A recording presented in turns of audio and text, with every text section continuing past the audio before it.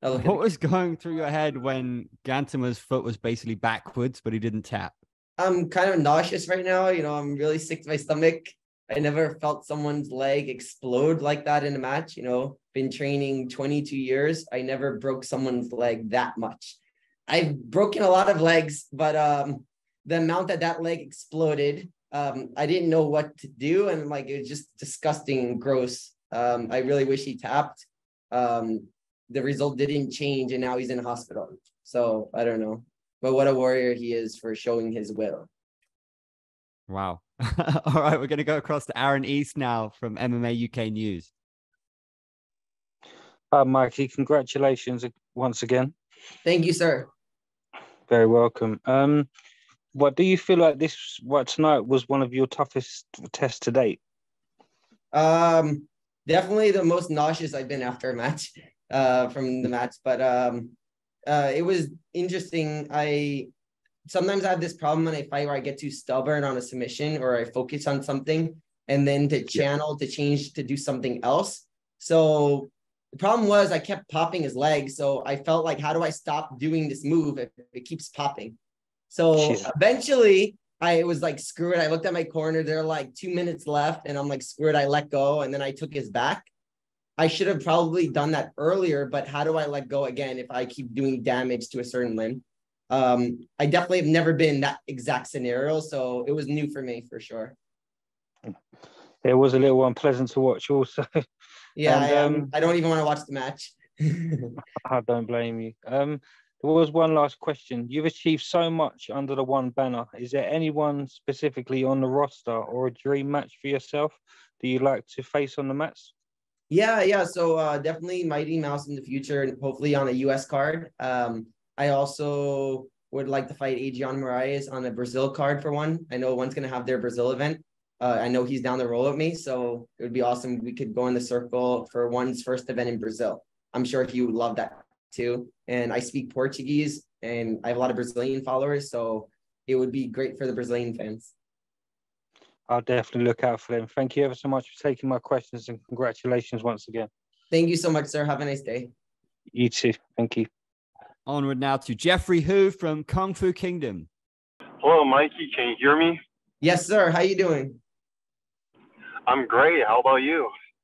I'm good. I'm just um just upset I didn't get the submission win, but um it is what it is. Most definitely. So first of all, congrats on your win. Uh Thank so, you. Hmm, so as for the Adriano Moraes matchup, that is in submission grappling, correct? Yes, sir. He's a black belt in jiu-jitsu also, and he actually requested to have a match with me so multiple times. So um, I, I think we should just do it in Brazil. One is going to have their first card in Brazil this year, and I'm fluent in Portuguese, and I have a lot of Brazilian followers also. So it would be great for the Brazilian crowd.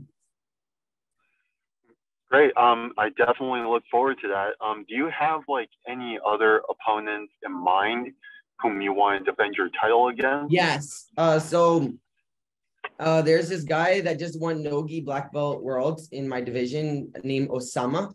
Uh, he's the first Black Belt World Champion from the Middle East. He lives in San Diego, trains at Gaval in Atos. Um, I feel like we would have a great match together, the current Nogi World Champion versus me. I feel like that would just make sense, right? So um, possibly that would be my next match.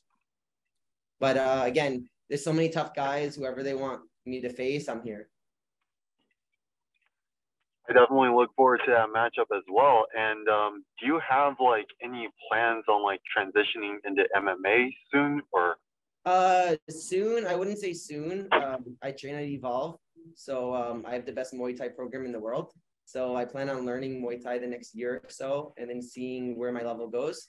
And um, I did Muay Thai like seven years as a kid, so I have a background in Muay Thai. I just have to learn again, but um, it's not like I haven't done any martial arts like stand up, you know. So I would just like to see how I progress over time, and then I would love to see uh, if I would like to do MMA. Definitely look looking forward to that, and thank you so much for your time. Thank you. Next question comes from Kyle Segal from the Going Live Network. Go ahead, Kyle.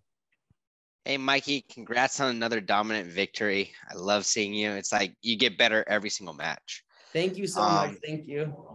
Of course. Do you think there's a super fight on the horizon between you and Cade Rotolo?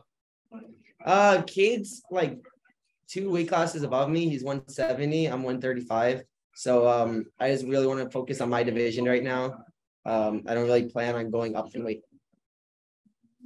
I plan No on competing. problem. I just had to ask because Yeah, you yeah, both are on- like top of the food chain. So I plan on competing like another like 15 years. So I need my body healthy. If I do heavier divisions, I'll probably have to stop competing a lot sooner because it'll be too much impact, you know. of course, Mikey. Congrats again on the victory. Thank you so much, sir. No problem. We have a question via text from Andrew Mack of MMA Island who asks We often hear that you can't feel bad for your opponent, but we're all uh, concerned for Gantumur's health after several minutes of destroying his knee. I think uh, that you touched upon this a little bit earlier, but uh, it was pretty concerning, right? Yeah, I, I just think it was just no point. Like he lost anyway. Like if, if for example, if you're winning a match like in IBJJF where there's points and you're in a submission, like you tough it out, you might pop your foot or something, but you win the match. But if you're completely losing a match and you're in a full out submission, just not tapping, you're just gonna injure yourself. And when I compete, I don't want to hurt anyone. I want them to train tomorrow. You know, I just want to um I don't want to hurt my opponent at all. So I didn't I really didn't like being put in that position that I had to break his leg, you know, and I'm like nauseous right now from doing it. Um I'm a really gentle training partner. Like I don't hurt anyone I roll with, you know, so um um it definitely had to pull out a part of me that like I didn't like. Um it just was stupid. I just thought it was a waste of him doing that to his leg. I don't know. Our last question comes from Andrea Tang from Jiu Jitsu Times. Go ahead, Andrea. Hi, can you hear me, Mikey? Yes. Hey Adrian. Hey, hey, good getting to catch up with you again. Uh, congratulations on your win. Incredible Thank you. performance as always. Um, I know that you are disappointed that you didn't get the tap, and as you've articulated so well, like it is, it it's is just, weird because it's the most I popped someone's leg in my life, but I didn't get a tap from it. So I feel you- like right, right, so which it- was bizarre to watch unfold as well Yeah. as someone who's seen a lot of grappling. Um, but and I and I know like you touched on that earlier that like it really sucks being put in that position. yeah. um where you have to hurt someone but like i know t- i know that hindsight is 2020 but if you could kind of turn back time and like do this match over again like knowing what you know about just him choke him, just put him to sleep. Just put him to sleep. yeah so That that's was- what you would do differently Yeah, I looked at my corners. I heard them say two minutes, and then I just let go of the submission, and then I took his. I almost calf sliced him. I think. Uh, to my yeah memory. yeah we saw the cast. And then I and then I took his back, and um, I should have just done that from the beginning. Like I could have definitely just put him to sleep.